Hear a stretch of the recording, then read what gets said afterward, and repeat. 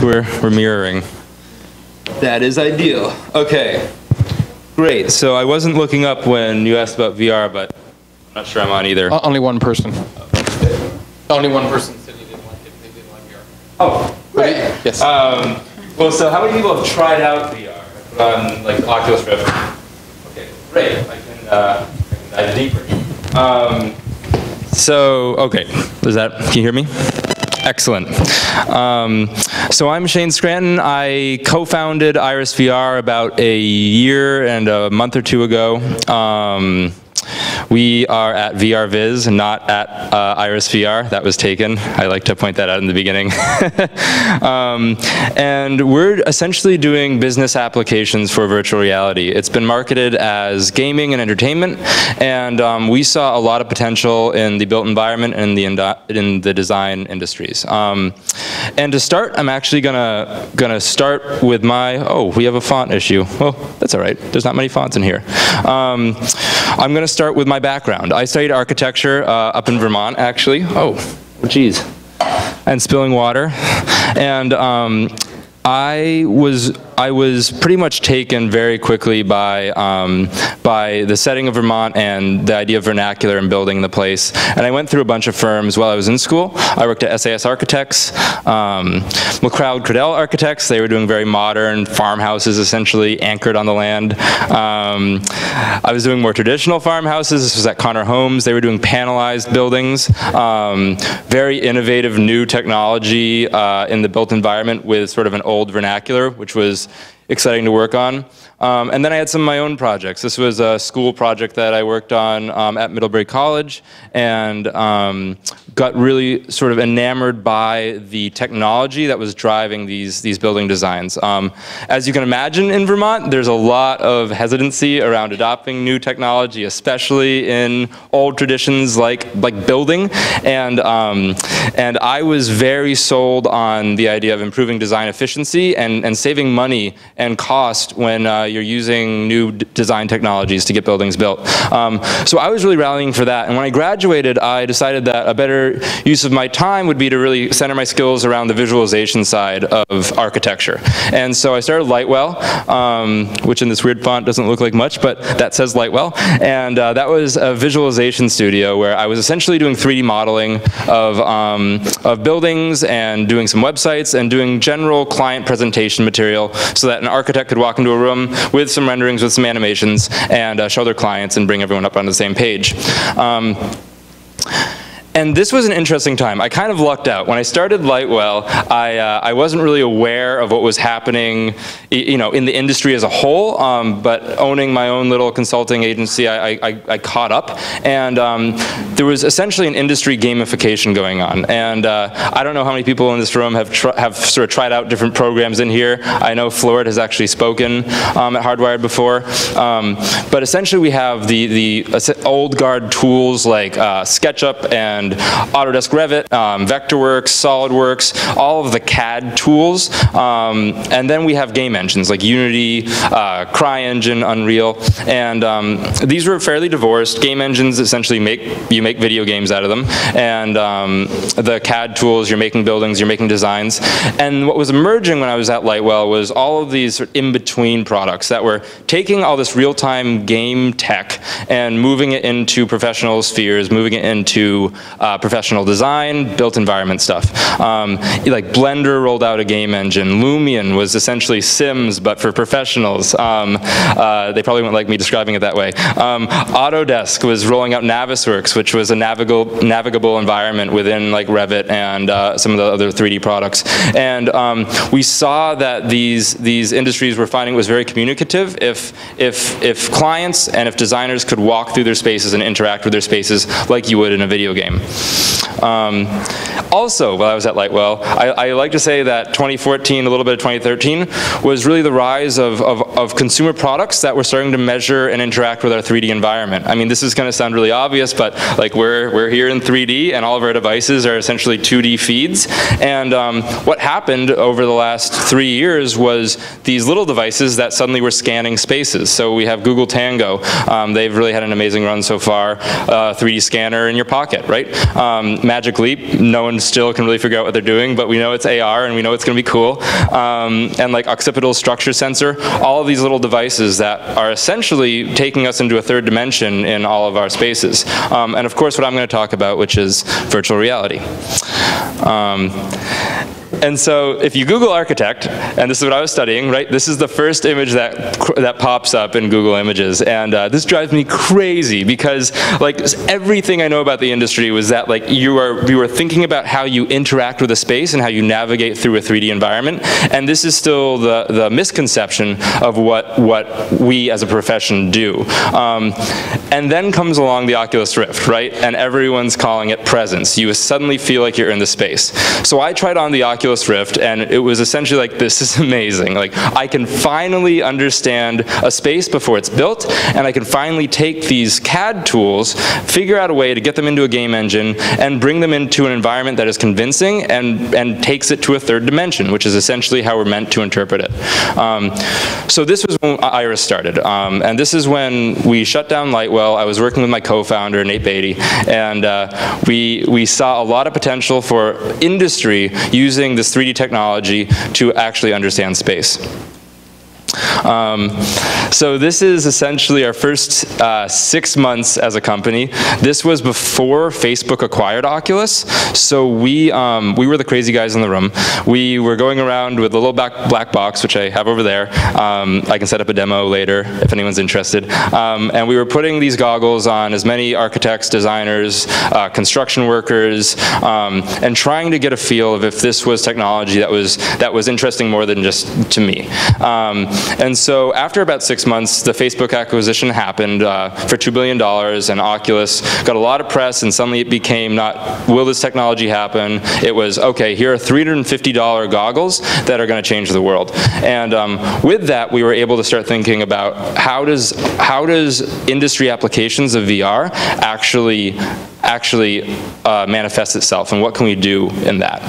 Um, so this is where I'll dive in a little bit. We essentially, to make a VR walkthrough right now, you need to make a video game out of a file. So um, the way you do that by hand and the, the, way that we started doing it was you start with uh, either a SketchUp or a Revit or a Rhino file, really any 3D geometry, and uh, you clean it up. You have to do these steps. I mean, essentially you're making it a cleaner 3D file so it can be brought into a real-time engine. Um, I usually bring things into 3ds Max, which is a pretty good modeling uh, and mesh tool. You have much more fine control, and you slim it down. You make sure that a computer at runtime can get it to run smoothly, and that you get 75 frames a second, which is important for comfort, and you get really low latency, which makes it um, which makes it responsive with your head movement, and you don't get sick. Um, and so once you once you do that mesh optimization in 3ds Max, you bring it into a video game engine in a sense. So it's either Unity or Unreal, and um, that's when you sort of add flair, you add interactivity, you add gravity, you add physics, you add lighting, and uh, you make a more fully fledged virtual experience. What we saw at Iris really early on was a lot of those steps, everything I've bolded here, is, um, is, is something we could automate, is something that software could do on the back end, is something that really we shouldn't be wasting our time doing because computers are smart enough now that we could write software to do it. Um, so that's where we started. And this is a screenshot of our, of our, of our earliest prototype app. Um, I'll give a very quick demo. We'll do it live. I'll Be brave about it. Okay. Um, so this is where we are today, and it's a really, really early prototype, but essentially the idea of taking those automatable steps and actually doing it on the back end. So instead of do, having to do it by hand, which can take many, many, many hours and has driven a lot of our clients insane, um, I'll pick a, let's do this guy. So I'll just pick a SketchUp file that's a native 3D file, click open, click launch, and that will go into the stereoscopic view. The, the, reason you get two eyes is that's essentially what you look through in the goggles, and you get a you get a you get a um, depth perception that way. And you can see each of these images are slightly different, so you get the depth perception. Um, so there you go. I brought this file. It was it was from SketchUp directly into our app, and then it brings it up into virtual reality. So it, it, if you're looking at it for the first time without having really tackled the problem of virtual reality, this looks very easy, and and that's actually our goal. The goal is to make this as invisible as possible with this early prototype, it should seem seamless, and if you're a professional working in this field, you should really feel like it hasn't interrupted your workflow. So you can tell it's navigable, you can fly, I can go through some of the features, but essentially we're able to pull a lot of that native data from the 3D file and bring it in here. Um, and that's where we are today. We, we really, this is not where we're ending, and this is, this is an important distinction where we saw that this was a good proof of concept, and it was a good way to get people excited and onboard Iris. Um, right, we're, we're now allowing this early, early sort of nascent technology to be accessible by professionals doing 3D modeling. Um, what, what has made us really excited about this is we're finally getting use cases back. We're starting to ship this. Um, I should say that SketchUp's free, the, the modeling tool I took this from, and our early access prototype is also free. So anyone that has some goggles that want to sort of play around with ways to get your files into VR, like please sign up for our stuff because it's, it's, it's, totally, it's totally free right now. We're looking for use cases. Um, but really three have cropped up. We, uh, the first and really the obvious one that people think of right off the bat is, is sort of the client walkthrough, which is um, you're an architect, you have a living room that you're about to pitch your client, you sit them down, you put the goggles on, and they walk through and sign off on it. They get it. It's, it's better than a floor plan. Um, the second that was surprising to us that seems to have a larger impact on larger enterprise is coordination. And this is if, say, you're a large uh, construction firm in the city, um, and you, you have multiple departments that are working simultaneously on different aspects of a project, and you need to bring everyone up to speed in, say, a meeting or actually on site, the best way to do that is to communicate through VR. And um, we've seen that a lot of people are using Iris to actually communicate their designs more effectively among other stakeholders at the company.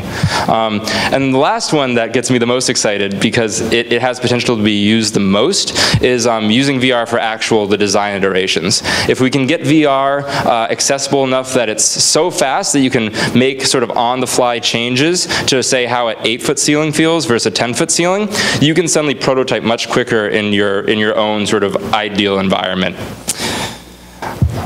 So, good thing the icons say sort of what this is. Um, we've found that we have a lot of industries here, and, and I started in architecture. I came into this like, we're gonna sell to architects, and um, it was abundantly clear once we started shipping our really early prototype that there was a whole number of industries outside of architecture that, that design spaces and that design physical 3D things.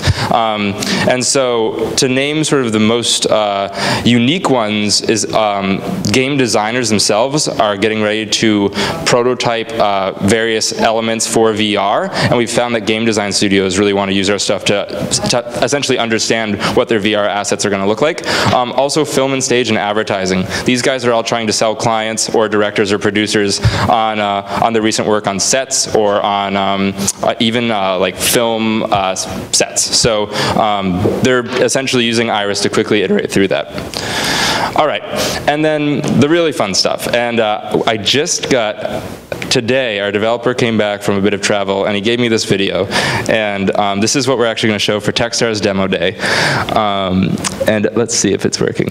All right, so, where we're going next is um, essentially trying to get this drag and drop, keeping that idea of keeping the software invisible and keeping it easy to use, um, but building in a much larger feature set that caters to design workflows. So um, this is him in real time doing a screen capture. You'll see that he's changing um, the textures on the floors and the ceilings. This is in VR. You can see the stereoscopic view.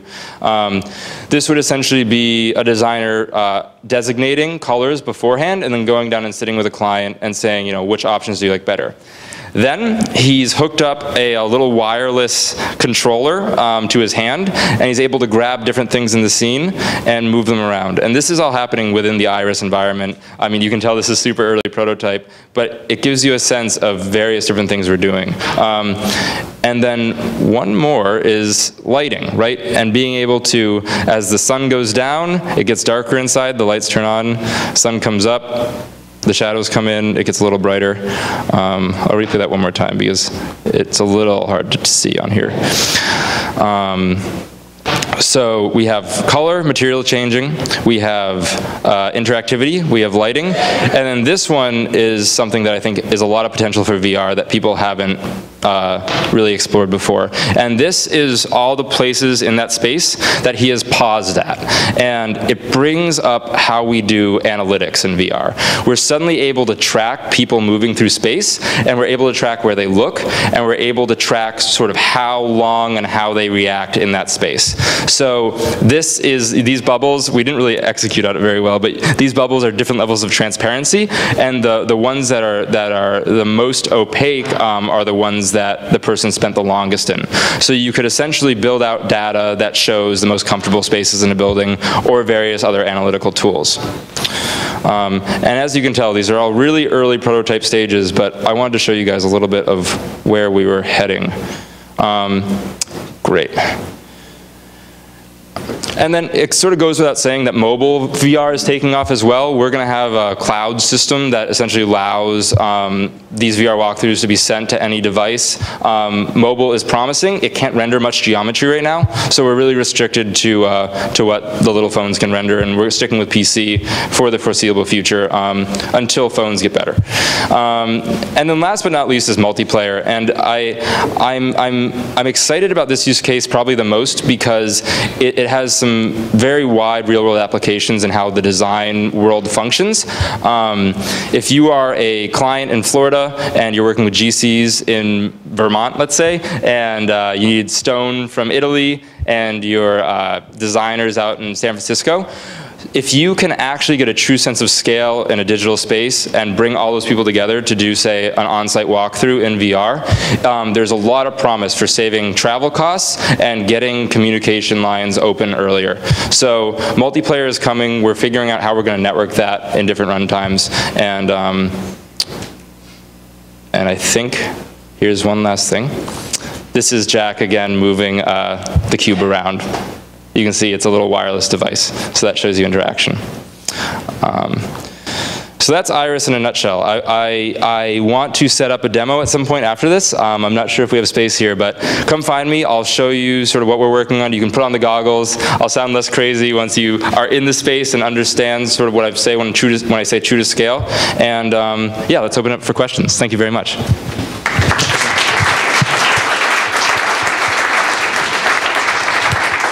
Awesome. Thanks so much, Shane. Uh, questions? Otherwise, I have questions. Yep. So, uh, uh, so where are we in the cycle with VR? So, lots of talk uh, everywhere, lots of excitement. Products are not out just yet. Where where are we? Yeah, so it was about three weeks ago, it was still a big mystery because Oculus was saying, um, like, we have, uh, we're working on it and it'll come out soon. and that was very scary for us as a startup. Um, you know, we're, we're, we're, looking for a point when we can have a 1.0 launch. Um, then HTC and Vive had their announcement, which is, um, which is the HTC Vive. It's HTC and Valve, excuse me. And uh, it was Valve and Oculus shared a lot of notes early on. Facebook acquired Oculus. There's a lot of speculation around them sort of then splitting and doing their own development. And then out of, out of really left field, um, HTC came in and said, look, we're developing our own goggles. And what was really um, promising for us is HTC said we're releasing it in November. And so now Facebook has a timeline. Now we know that, you know, probably Facebook won't come out second. They're going to try to beat that to market.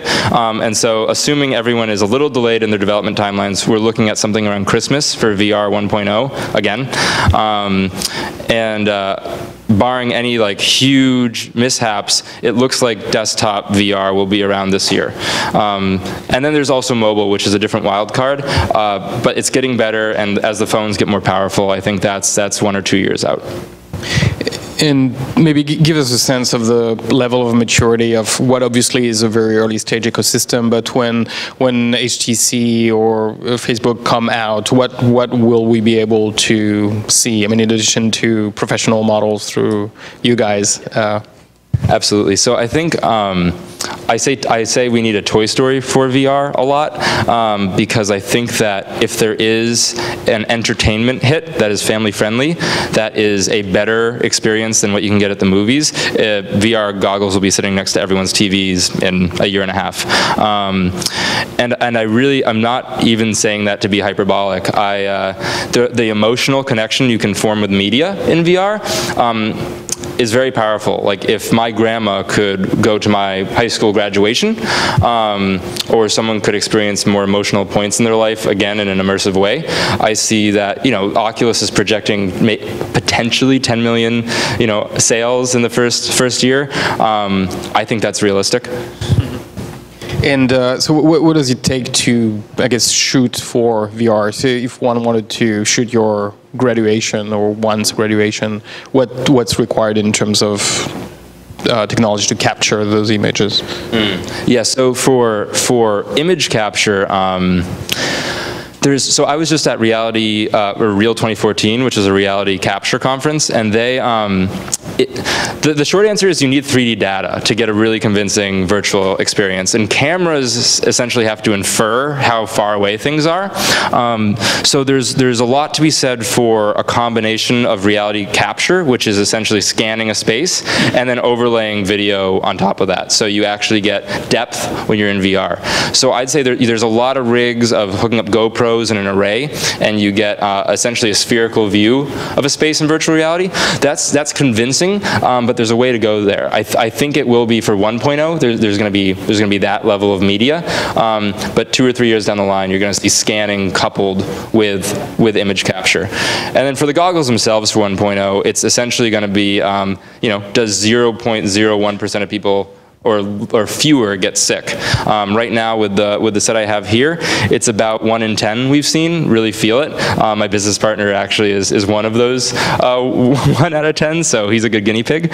Um, but yeah, it's, it's, it's gonna be comfort. And um, a lot, we're, we're worried that the first VR goggles out that are marketed as consumer release are actually gonna be nauseating and it could hurt the industry. Hmm. Yeah. Great. Um, yeah, uh, if you close her, and then I'll pass on my mic too. Would there be any defense applications for this, uh, which you thought of, or approach by or approach to any specific yeah, so it's also, I'd say it's larger than uh, defense and it's, it's just entirely uh, training applications. So um, defense is huge. We've also seen safety training. So um, really anyone that needs to get, get acquainted with a new area or a new site or a new piece of machinery, um, we've been approached by a lot of, a lot of people in that regard. Um, yeah, a lot of training even around like how to navigate new environments, which is of course applicable to the, to the Defense Department as well. Yeah, absolutely. One, one right. Oh, yeah. yeah. Uh, first of all, I think it's great. Um, yeah, coming from architecture background as well. Uh, how do you think it will actually affect our um, architecture as an industry when you can basically A/B test spaces before building them and using them? that's why I started the company. Um, I, I, think that uh, I think that it's needed and so much so that a lot of the firms I showed at the beginning that are inherently sort of resistant to technology, I mean, we've given demos at all of them, and, and they're, they're, some of them are using it with their clients already, and some of them are, are on board and, and getting set up. And um, it's, it's because what, what we as designers have in our mind's eye and what is shown to people in the, in the production and design process is usually uh, it's, it's usually not the whole thing, and it's not fully communicated. And with VR, you suddenly have the potential to, to actually communicate that, that idea. And um, I, I can't articulate it sort of any more concretely than that, but yeah, I think it's a fundamentally new way to communicate with, with clients and with coworkers. Great. So uh, unfortunately, that's all of the time we have. But uh, thank you much. You're going to be around up until I guess the end of the event. So if anybody yes. else has questions, uh, there were a few hands over there. You'll be around. Okay, thank. Thanks much. Appreciate it. That was great. Thank you.